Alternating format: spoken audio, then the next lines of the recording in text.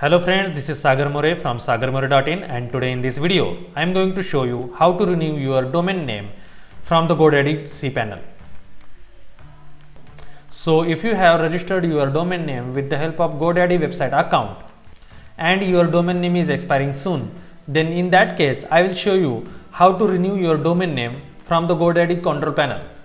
So to do that, you can directly go to my products and you can click on domains tab to see which are the domains that are expiring soon. You can also check your expiring domain names from this notification panel. So you can either click on the notification or you can go to domains tab from my account menu and you can click on renew button in front of your expiring domain. So to renew it, I should click on renew button so now it is showing me that two domains are expiring soon, but I want to only renew only one domain name that is sagarmore.in. So as you can see here, it is showing me the price to renew this particular domain name for one year. So the price is 1225 rupees for one year. So what you should check is if you are renewing more than one domain name, then make sure that you have checked this checkbox to renew that particular domain. So in my case, I want to renew this particular domain name and I don't want to renew my second domain name. So that's why I have clicked on only the checkbox which is showing me the domain name which I want to renew. Now you need to click on continue button. GoDaddy might show you some other advertisements also.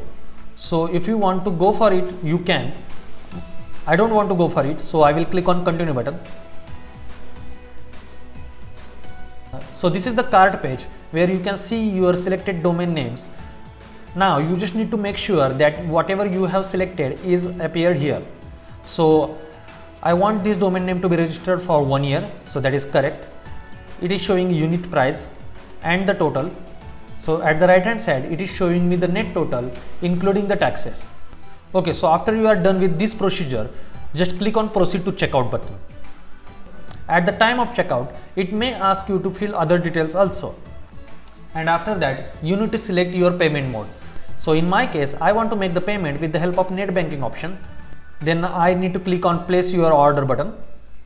Now it has redirected me to a different page which is a payment gateway page and from this drop down I can select my bank. You have other options also to make your payments. Okay then you need to click on make payment button. Now it will redirect you to the bank website page. If you have enabled internet banking with your bank account, then you would be able to make payments via internet banking. Let me write my details here.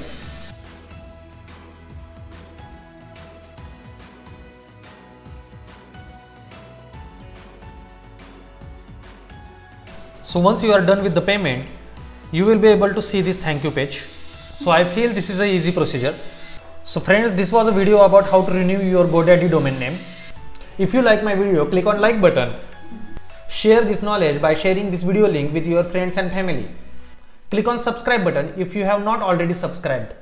If you have already subscribed to my channel, click on bell icon. And finally, thank you for watching. Stay tuned, be technical.